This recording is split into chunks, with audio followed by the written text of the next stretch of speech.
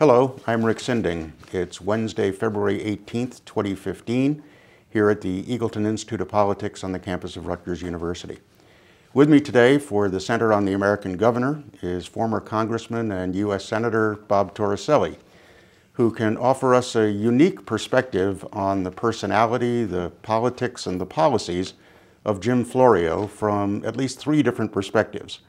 First, as a colleague of former Congressman Florio in the U.S. House of Representatives from 1982 to 1989, then as an interested Washington observer of the goings on in the administration of Governor Jim Florio in Trenton from 1990 through 1994, and still later as a prominent supporter of candidate Jim Florio's opponent, Jon Corzine, in the U.S. Senate primary in 2000.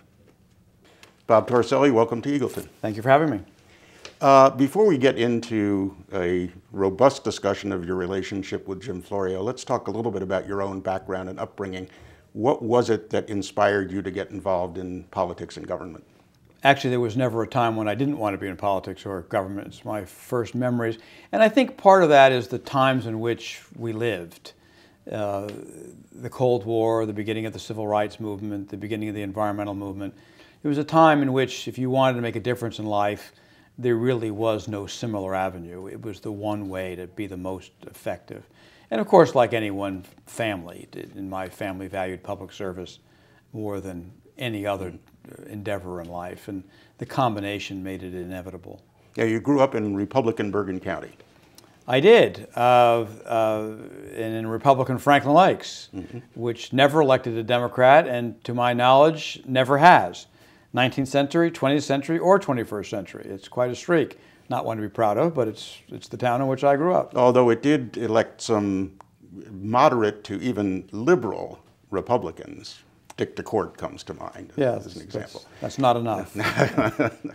um, how did you get involved in politics? When did you get involved in politics? Actually, here at Rutgers. Uh, I was president of my class at, uh, in Rutgers College, and there was a gubernatorial election coming, and I thought the students in my class should see the candidates, and I hosted a, a, uh, a forum, and one of those candidates was Brendan Byrne. Mm -hmm. And the rest, as the rest is, history. Is history. Um, what did you do? Uh, how, how, did you get involved with with with um, candidate Byrne and then governor-elect and Governor Byrne? I took a course at uh, Rutgers while I was hosting this uh, forum, and the teacher of the class was Dick Leone. And after class, I went up to him and said that uh, during spring break I was looking for something to do and didn't have anything to do when the semester was over, and I had been a county committeeman in Bergen County and wanted to get involved my intention was to go lick envelopes. Uh, I ended up as the campaign manager in Bergen County. Not because I was good, not because I had been interviewed, not because I had special skills, because I was the only one who offered. And I took the job. Uh-huh. And uh, how then, what did you do during the Byrne administration? Uh, I, in the summer of 74, after I left college, was the Watergate year when the effort was on to take uh, the federal government. And uh, the Byrne administration made me a temporary executive director of the Democratic Party. So I did the research and the early planning and preparation for the congressional campaigns in the fall of 1974, which was the Watergate landslide. Yeah, which, interestingly enough, was the election in which uh, Jim Florio entered Congress. Correct, and, and, a, good number of other people. Mm -hmm. That, that class in, in Congress, some of them still remain, and I served in the House of Representatives with many of them because mm-hmm. they were the biggest class of Democrats, I think, in the history of the Congress. Did you have occasion to come into contact with Florio during the 74 campaign? I did. When I graduated from college and, and ran the party that summer, I ran the research project, and we did basic research on all the Democrats running for Congress on their Republican opponents. And I remember meeting with Jim Florio and Andy Maguire and a host of other people and presenting them with everything we had found on their opponents. Mm-hmm. And that was Congressman Hunt? Was that the? It was the, Congressman that? Hunt. Uh, Jim had run against him two years before unsuccessfully mm-hmm. and was wise enough to see that the atmosphere had changed. And Jim had learned to be a better candidate. Uh, he had developed a stronger reputation, and he had the wind to his back, as they say. Mm-hmm. So um, I know that I, I mean, we could go into great detail about the, your work with Vice President Mondale, uh, running the um, Carter Mondale campaign in Illinois, uh, and a variety of other activities. But let's get up to 1982 when you Okay. decided to throw your own hat in the ring. Um, how did you decide that that particular district at that particular time was ripe for your taking? Well, having lived in Bergen County all my life, I, I, I watched the county and I knew the towns. I had seen Andy Maguire succeed in uh, 74 in the northern district in Bergen County and watched Henry Helstoski as a congressman in the southern district in, in Bergen County. Um, I, I was not surprised that Andy Maguire could not hold the seat in the north. He was a product of the Watergate landslide, and at some point it was going to return to a Republican district. I wanted a stronger base.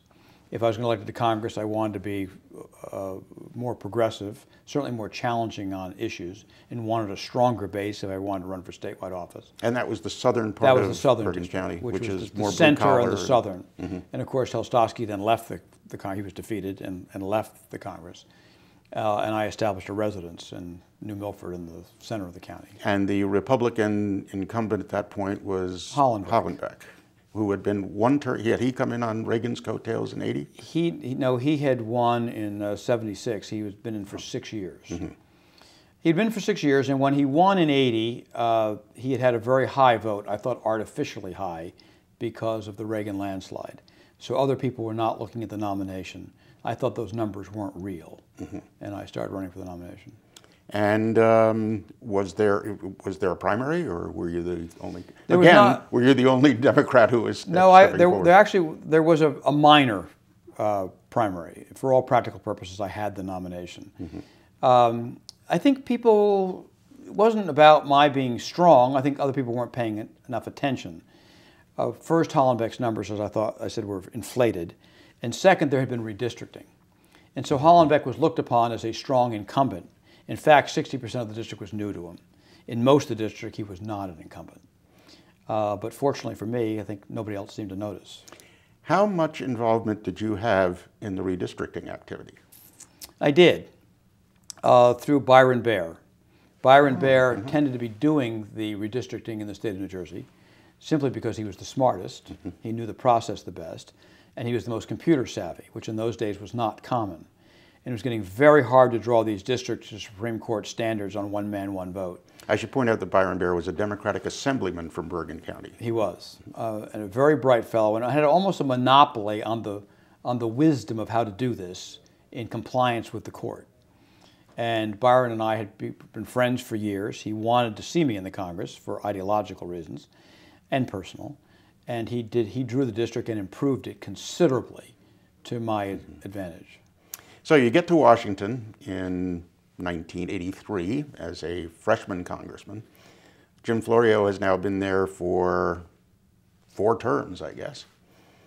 Uh, it's no secret that um, congressmen from the same state uh, often are rivals, often don't get along, um, even if they're, or even perhaps even more so if they're of the same party. Um, that certainly is the case with United States senators. Maybe we'll get to that later. Um, but you and Jim Florio seemed to hit it off from day one. Why? We did, and, and you're right. Congressmen of the same state don't usually get along well. Um, and in my case with Jim, it might not have been a good relationship because I had been part of the Brendan Byrne's gubernatorial administration. I was the chief of staff for his reelection campaign, uh, and Jim Florio was our rival. So indeed, we, One, one of one of one many. of many. So we very well might not have gotten along, but we became friends. I uh, admired his work on the environment. Environmental issues were the most important to me, and that was also an important part of his career. That was part of our relationship. Second, although we were both Italian American Democrats from New Jersey and with ambitions and might have been rivals, there was a bit of a generational difference. He had already run for governor. He was seeming about to again. I was somewhat younger. So I, some of the rivalry was taken away from that. And he was from South Jersey and I was from North Jersey. and our personalities were very different. Uh, Jim never aspired to be a player within the House of Representatives. Uh, his future was New Jersey. He kept to his committee. He was very serious about his substantive work. I was much more involved in Washington and congressional politics. So while we had things in common, the things that were different about us, I think, avoided rivalry. Well, you, uh, uh, particularly in your early career, specialized primarily in foreign affairs, as I recall. I did. I was very involved in foreign policy, mm-hmm. and, uh, and I was very involved in House politics and Washington politics. And those were never things of interest to Jim. Mm-hmm. So, were there particular uh, areas? Uh, you mentioned the environment, but were there spe- specific bills or specific initiatives that the two of you worked on together? Well, I was dependent upon him because my district in southern New Jersey included the Meadowlands and some of the worst uh, toxic sites, not only in New Jersey, but in the country. And I was very involved in getting some of them fixed. We had a terrible thorium problem in Maywood and Rochelle mm-hmm. Park. We had mercury problems uh, in, in Rutherford and, in, and Lyndhurst. Uh, these were very important to me, and Jim was writing the legislation. And this was the Superfund legislation. Superfund legislation. Yeah. Jim gave me a lot of advice about getting it fixed. He and Bob Roe really shepherded my career in being effective in getting things done for Bergen County. Mm-hmm. Um, as you progressed through those first two or three terms in Congress, and it was clear that Jim Florio was going to run for governor in 1989. Did you uh, support him? Did you work with him? Did you work on his campaign? Well, before that, it actually was appeared that Jim Florio was going to run for governor in 1985, because you remember he lost extremely narrowly to Tom Kean. Mm-hmm. And while we now all think of Tom Kean as being invincible and this enormous political force, in fact, the first couple of years of Tom Kean's administration, he wasn't doing so well. Mm-hmm. There was a bad national recession. His polling was not strong. And I proved out was wrong, had urged Jim to run in 85. Uh, Jim thought he wisely was, did not take your advice. He wisely did not take my advice. He thought Kean would recover. Mm-hmm. I did not. He was right. I was mm-hmm. wrong. Jim thought I was also encouraging him to run for governor, so I'd get him out of the way. uh, that may have been in the back of my head, but it was not at the forefront. I actually wanted to run because I thought at the time he'd be effective and the better governor. Mm-hmm. Um, I do think he'd be the better governor, but I, but I was wrong. He would not have won. Um, you have often spoken, I've, I've read uh, some of the interviews that you've done, about your own fiscal conservatism. Um, socially liberal, but, um, but fiscally conservative. Uh, that would seem to put you somewhat at odds with Jim Florio's uh, fiscal philosophy. Did you ever have occasion to uh, have disagreements on this subject?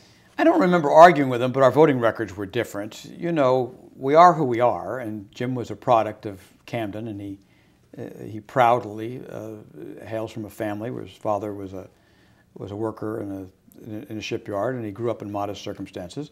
I proudly came from Franklin Lakes, New Jersey, in a very different socioeconomic circumstances. I think we're both proud of our backgrounds, but we are who we are.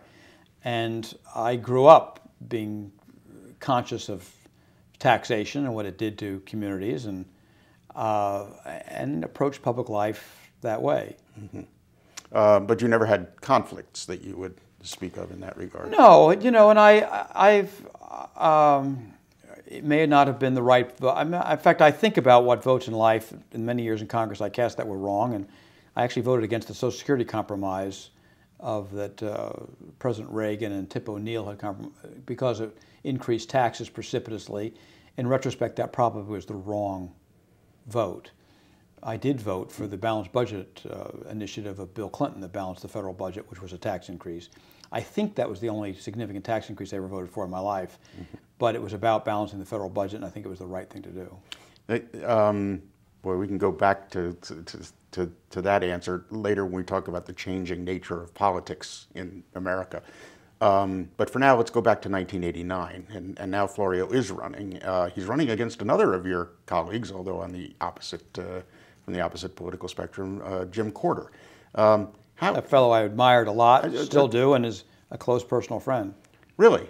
Um, how had had you worked closely, or had you worked with him even across the aisle when you were in Congress together? Uh, Jim Courter and I worked very closely together because I was the Democrat on the Foreign Relations Committee, and uh, he was the Republican on the Armed Services Committee.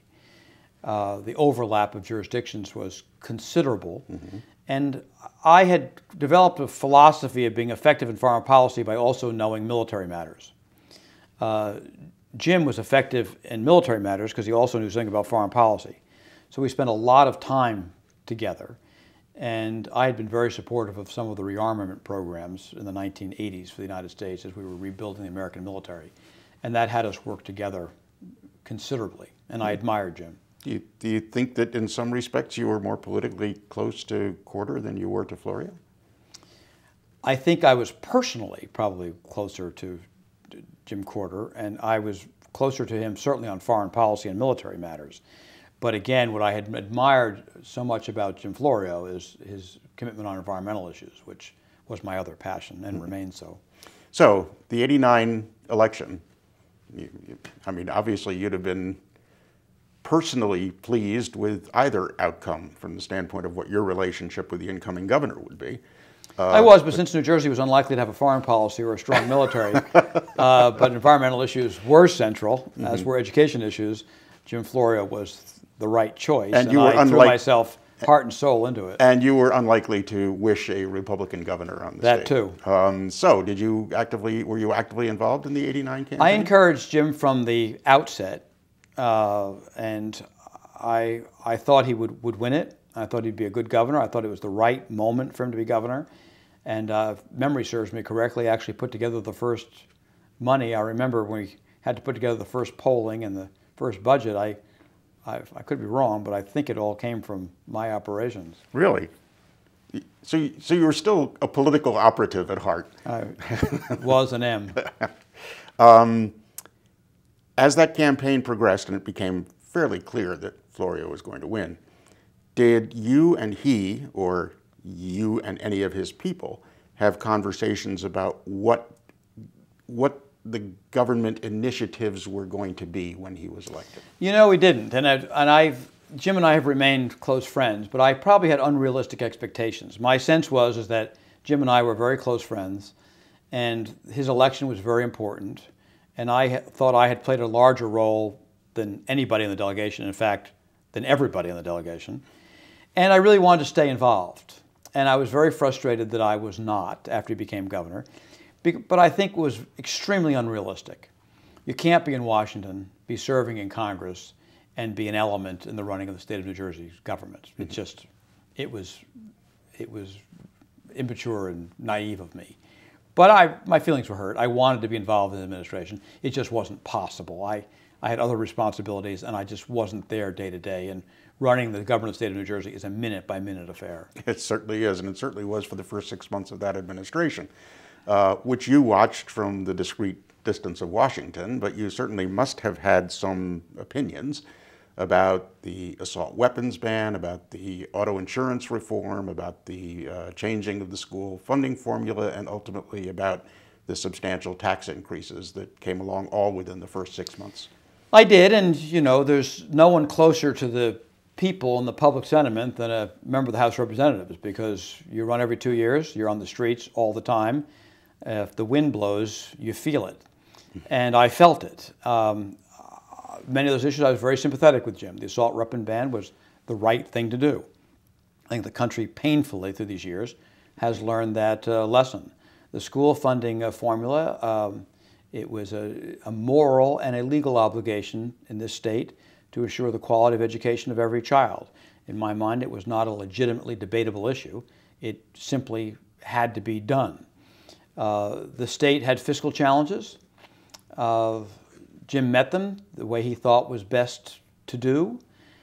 I don't think with Jim it was as, as much a substantive issue as that the sale of the program, the explanation for it, was obviously not done well. I think history uh, supports that, that conclusion. Politics is a complex piece of business. Uh, it, it's a set of beliefs, it's a deep knowledge, it's a conviction to achieve, but it's also a set of skills to prepare the public. Um, as I think Lincoln said, you need to lead the public, but not by too much. You can just be so far out front of the public. You need to bring them along, sometimes kicking and screaming, but always with a base of knowledge. A lot of people whom we have interviewed have, have uh, talked about Tom Kean's approach, where he did, in fact, um, sign tax increases, kicking and screaming, uh, and Jim Florio's approach, which was full speed ahead. Uh, one of the distinctions here is, is that uh, Florio evidently acted on the belief that he had political capital, spend it in those first six months, and then spend the next three and a half years building it back up again, knowing that there would be this kind of reaction, but perhaps not anticipating the extent of the reaction. You think that's an accurate assessment? Here's how I look at this, in fairness, because I admire Tom Kean and I admire Jim Florio. They could not be different individuals. Tom Kean led, and perhaps appropriately, incrementally. He saw where he was, he knew where he wanted the state to go, and he was going to get there step by step. That's not Jim Florio. He saw where he was, he knew where he wanted to go, and he wanted to get there in a hurry. Uh, and if it wasn't revolutionary, it certainly wasn't incremental. Uh, they had different outcomes. You can argue which is better. Uh, Tom Kean did what he did, succeeded politically and substantively. Jim Florio succeeded substantively. He did not succeed politically. Um, but I don't fault him for trying. And in, in, politics, there's a moral imperative to do as much as you can possibly do in the short time you are given. And he tried, and I admire that. There are a number of people also whom we've interviewed who uh, have uh, basically uh, described Jim Florio as a policy wonk. Uh, much, much more interested than most elected politicians in the substance of the and detail of the policies that he's working on. Was that your impression as well? Yeah, I think that's true. I, and the, the things that Jim worked on in the, the Congress, there were some health care issues, there was the environmental issues, the asbestos issues, the insurance issues. I think he knew them as well as anyone in the Congress. And I think that was important for him when he became governor. So I think that's true. He was certainly policy, uh, policy driven, mm-hmm. uh, much more than he was politically driven. And his policy skills were greater than his political skills, I'll say gently. you had uh, mentioned earlier that um, a U.S. congressman, being so close to the people, gets that blowback, gets that feedback.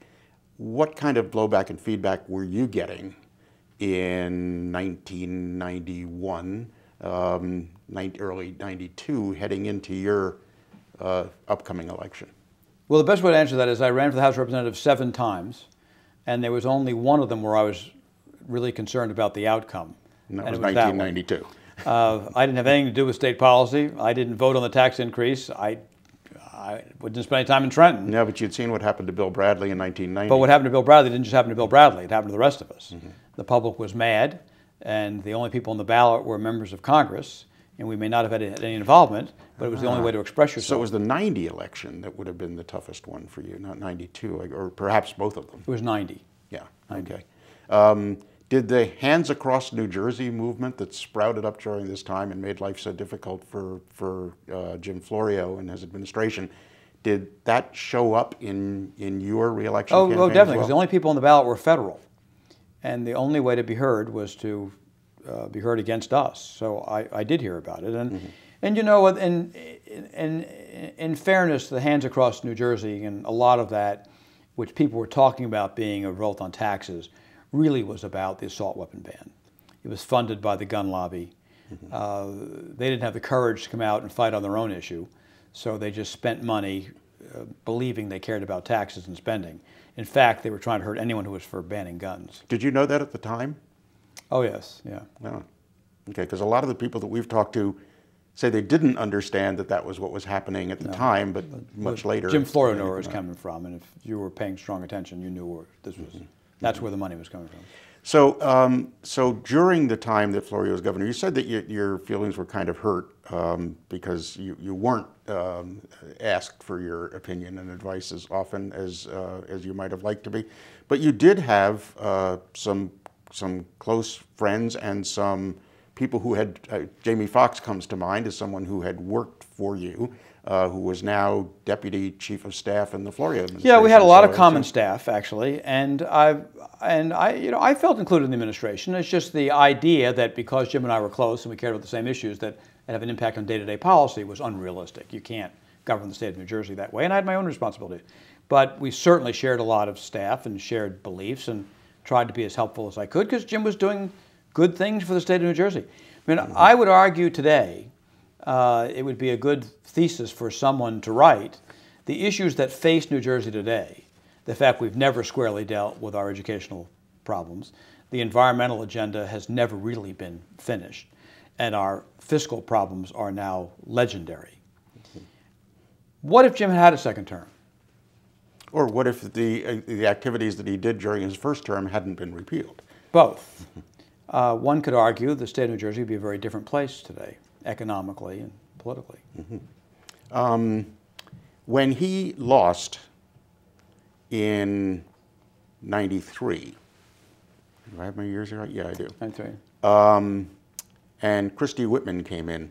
What kind of relationship did you then have with the head of, with, with, the, with the state government apparatus? Did it change dramatically because you were of different parties? You know, it really didn't. I, I think by the time we were into 93 and 94, uh, I was the only member of the House, Democrat of my generation. The other Democrats had been around a long time. They were committee chairmen, they were getting older. Uh, and I was the only one really deeply involved in the House leadership day to day and the agenda of the Congress. And uh, Governor Whitman's administration relied upon me a fair amount to carry the agenda as a Democrat, uh, to the extent it was required on my side of the aisle. So we actually had a very close relationship. Uh, I also was very supportive of Governor Whitman as governor because she also shared my passion for open space, uh, which, in addition to the environmental issues that Jim Florio pursued, was the other thing I felt so strongly about. And she was very good on open space. Fast forward to 2000, where I guess for the second time you're going to come into some conflict with Jim Florio. I hadn't, I, it hadn't occurred to me that that midterm or that the, the second Byrne uh, election would have been a source of some tension or conflict with, with Jim. But clearly 2000 was, uh, because you were a prominent supporter of Jon Corzine in the, in the Democratic primary for U.S. Senate. Well, the decision in 2000 to nominate a, to the United States Senate a, candidate who could win was, was complex. Uh, I was chairman of the campaign committee uh, for the Senate, responsible for raising the money and doing the recruitment. And we were six seats away from getting a Democratic majority. And getting a Democratic majority was essential. We did not know whether Al Gore was going to win the presidency or it would be George Bush. It was going to be George Bush. We had to have a Democratic Senate.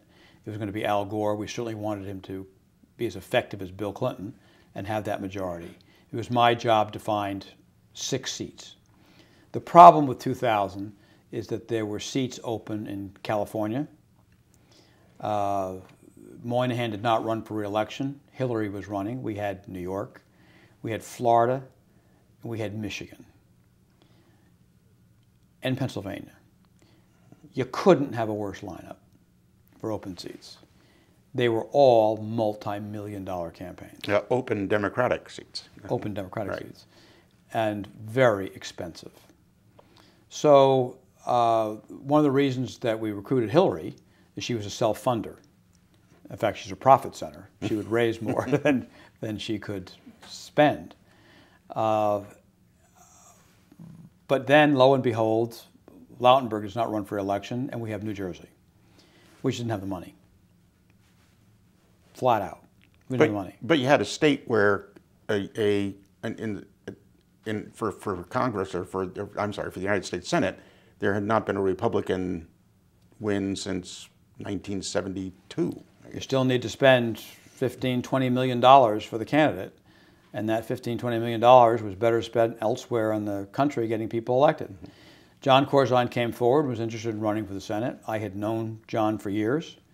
Uh, I knew him as chairman of Goldman Sachs. He'd been a very good supporter of mine through the years. I knew he was smart. He was very, very focused. He was prepared to fund his own race. His polling was very positive based on his profile.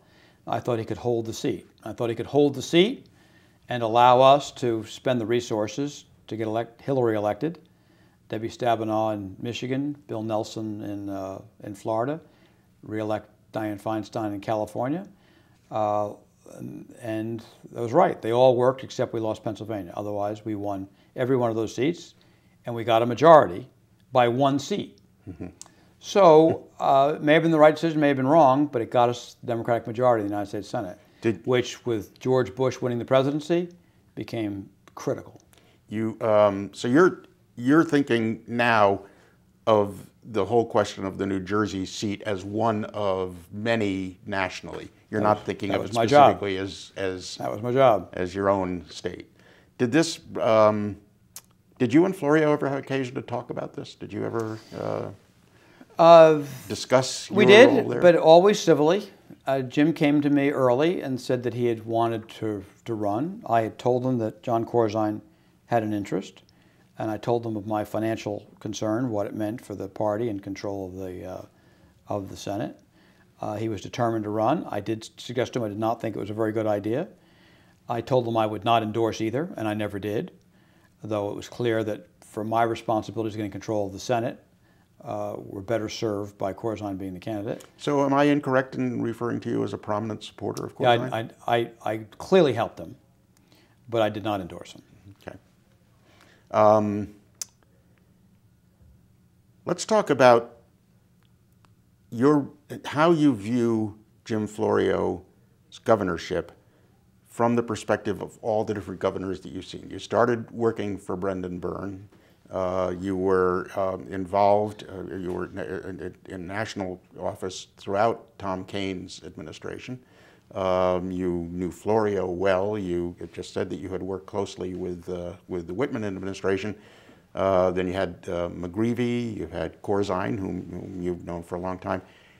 How would you compare and contrast them, uh, their leadership styles, their um, talents, their shortcomings? uh, for each of those governor, mm. gov governors? Well, Jim Florio clearly had the courage of convictions more than anyone who's served as governor of New Jersey. He had the, the political determination and courage of Brendan Byrne, but probably without the same level of political skills. Uh, but he had a, a determination to achieve and to do so in a short order that most of the other governors, even good governors who stood for the right things, were probably more patient or more willing to compromise. Uh, which of those is the most virtuous? I'll leave to others to decide, but I admired his courage. What do you think his legacy will be? You know, I've, I you ask an honest question, I'll give you an honest answer. Um, missed opportunity. I think Jim uh, presented an agenda. He was an opportunity that was missed by the state of New Jersey. Uh, had he been reelected, had he succeeded politically, the state would be a different place today. And many of the debates we're now having about our abysmal fiscal health, the continuing failure to address our educational difficulties, we wouldn't be having all those debates, at least not to the same degree. You briefly toyed with the idea of being governor. Very change, briefly. What, 12 days, I think, was yeah. it. Very brief. Um, why? No, not why did you toy with the idea, why didn't you pursue it? Uh, it was very complex. One, I was chairman of the campaign committee of the Senate. And when uh, various political leaders in New Jersey suggested to me that uh, Jim McGreevey may have some vulnerabilities and might not be the strongest nominee, uh, I went to the Senate leadership Senator Daschle, and suggested that I had an interest in it. But he reminded me I was also chairman of the campaign committee, responsible for getting control of the Senate back. Um, I suggested I thought it was something that might be able to be done in rather short order. The election wasn't for another year. If I could secure the nomination early, it wouldn't necessarily be a conflict with my duties. And I pursued it with that in mind. That did not afford me the opportunity to run a primary. Mm -hmm. uh, I, I could have just simply run in a primary the next year.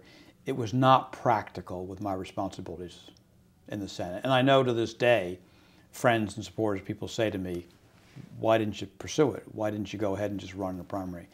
I would loved to have. I couldn't. It, it was not responsible in, with my duties in the Senate. It also sounds to me, based upon your activities when you were in Congress, in the House Foreign Affairs Committee, uh, and, and dealing with an awful lot of national and international issues and big picture federal stuff, um, that it lent itself more to your moving on to the Senate than it would for you coming You know, back Rick, there's, there's some truth in that, and that my passion had, had been uh, foreign policy. I knew them. My greatest impact in the Congress was foreign policy issues and military issues because I had spent so many years traveling the globe, meeting foreign leaders, studying, reading, being a part of the formation of American foreign policy. I pursued it with passion, and I, I hope I made a difference for our country. I certainly wanted to. But I also lived here and I had come of age in New Jersey politics and in the state house. And in the federal government and the Congress generally, you can touch policy, you can impact policy, but you can't grab it by the throat and drag it forward. There is no position in the United States like the governorship of any major state. The governorship allows you to wrestle an issue to the ground, pin it, and pull it into a different time, uh, whether it's education or the environment or economic development. It is an entirely different ability to impact people's lives and, and, and, and change the future. Uh, and I regret not having done that at some point in my life. I wish that I had, because when you see people who've done it and done it well, they've changed lives, not by the handful, but by the millions. Did you ultimately get frustrated being one of 435? Uh, and is that what caused you to want to become one of 100? I, you know, my decision uh, to want to be uh, a senator and my decision ultimately to leave public life are, are related. In that um, I never wanted to be in the Congress all my life. There are people I loved and admired, like Peter Rodino, who, who came out of the service as a young man and spent his entire life there. I, I really respect that.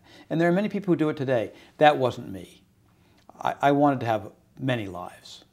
And I wanted a life as a congressman, I wanted a life as a senator, but then I wanted a life as a businessman, I wanted a life as a, as a citizen. Uh, I didn't want my, I didn't want to be defined by a job. And I, I, spent 20 years. So after 14 in the House of Representatives, I thought that was enough. Mm-hmm. And I'll go to the Senate. And I, I, my plan probably was to spend two terms in the, in the Senate, but then, you know, as things, I, I wasn't enjoying it anymore. It was time to go to private life.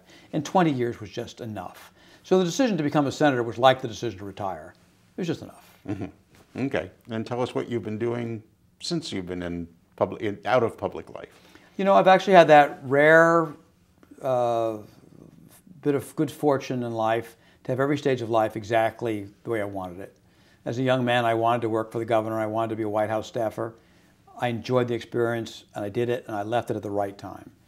I wanted to be a young congressman and be involved in American foreign policy in the Cold War, and to, and, and to learn the world and to learn the country. And I did that for 14 years, and I enjoyed it, and I'm glad I did it. I did the same with the Senate, and I enjoyed being involved in national politics.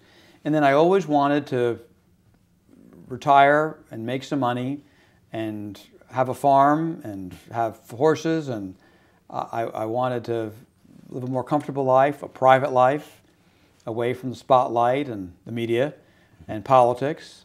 And I started building a real estate portfolio. And I renovate properties and build residential uh, multifamily housing.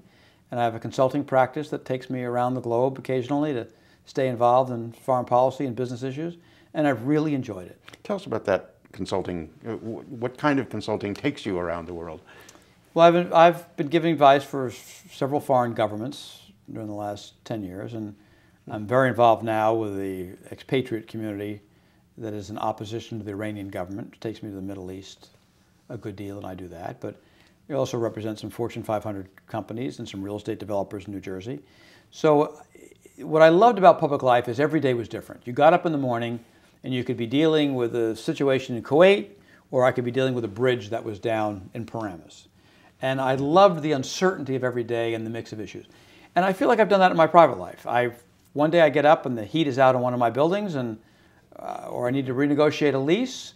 But that afternoon I could be getting a call, and there's an issue about the expatriate Iranian community in Iraq, and that they're being attacked by the Iranians, and we need to do something about it.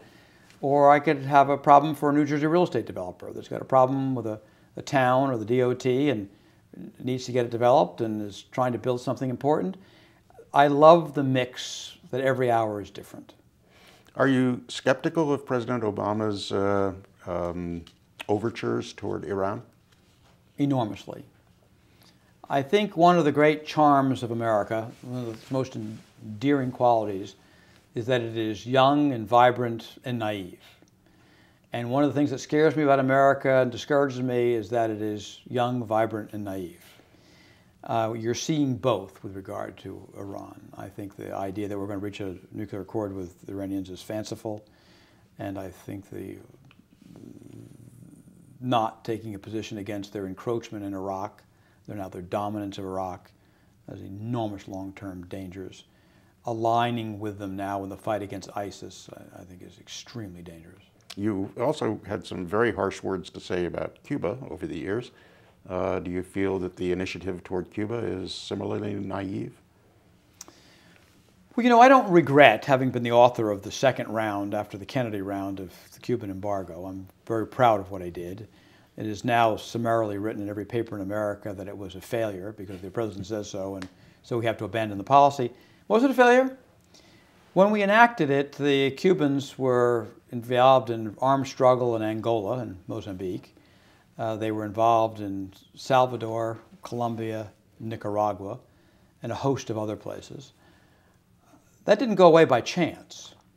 Uh, the Cuban embargo and American isolation of the Cuban government weakened them, contained them, allowed the revolution to mature, uh, clearly became less offensive. Is it time now for a change of policy toward Cuba? Probably. It is a more complex situation. I think we defanged them, and at least what they were attempting to do in our hemisphere in revolution, militarily. It's probably a different time for a different approach. Um, but that doesn't mean that we don't retain our principles. I do not believe that the United States should have an identical policy for democratic nations that respect human rights, respect the will of the governed, and those that are totalitarian and abuse human rights. We can have some economic intercourse and political intercourse with both, but the policy should not be identical. Cuba should remain in a different relationship with the United States as long as Cuba chooses to be different in how it treats its people. Mm-hmm. And um, I assume you feel the same applies to Saudi Arabia and other countries that are uh, um, in America's sphere of influence, but not necessarily uh, as I, I, I supportive do. of human I rights. I do. I think we have a level of relationship with the great democracies. Uh, NATO is not only the most successful political military alliance in, in history, it is the most admirable. You must be a democratic nation to be a member. No matter how powerful you are, no matter rich you are, no matter how much you serve our interests, you must be democratic to be a member. Uh, we should weigh them differently. Other states can be helpful to us, in the Middle East or in Latin America. They can have aligned interests, they can serve our purposes. But I think to get in the inner sanctum of trust with the United States, where you get our most advanced weapons, our best intelligence, our complete best wishes, our commitment to defend each other, you need to be in that circle of democracy. We've come quite a ways away from our discussion of Jim Florio let me just get back to it for a second and ask you to pretty much wrap this up. Um, what didn't I ask you that I should have? Or what observations would you have to make about Jim Florio that we haven't discussed? You know, if you wanted to segue Jim Florio into a discussion we're all going to have for the next couple of years in New Jersey, it would be if Jim Florio were a candidate or governor today, given his courage, uncompromising courage on policy to do the right thing, what would he do? And I think the greatest contribution Jim Florio could make to those who now aspire to be governor would be simply this. running for public office is not fun. Being in public office is not fun. I'm an expert on both of those. Just do the right thing. Whether it is about taxation or spending or dealing with the pension problems, dealing with our endemic transportation educational problems, do the right thing. And if it doesn't work out politically, life goes on. Public life is a stage of life. You get reins of power, do the best you can, make the greatest contribution you can. If it works politically, it works. If it doesn't, it doesn't. But you walk away from it saying, I tried to bring everybody in the right direction. I think you pretty much described the Florio administration. I'd like to describe the next administration. well, on that note, thanks Thank very you. much. Thanks for having me. Enjoyed it.